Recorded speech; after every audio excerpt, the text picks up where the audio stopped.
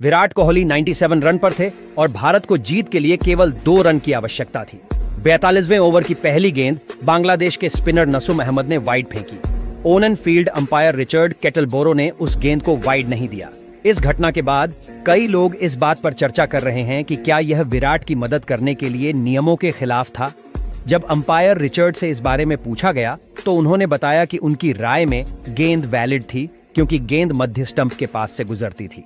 विराट की मदद करने के लिए उन्होंने कहा कि विराट एक उच्च श्रेणी के खिलाड़ी हैं और उन्हें शतक बनाने या परफॉर्मेंस करने के लिए किसी सहायता की आवश्यकता नहीं है। उन्होंने अपने कौशल से सब कुछ हासिल किया है।